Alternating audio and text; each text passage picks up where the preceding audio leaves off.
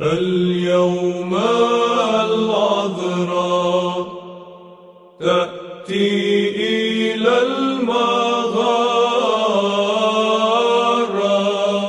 لتليد الكلمة الذي قبل الدهور. لا تفسر ولا ينطق بها فافرحي أيتها المسكونة إذا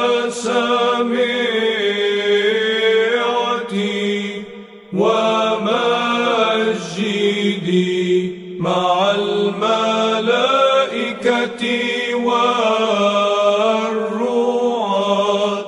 الذي سيظهر بمشيئته طفلا جديدا وهو قبل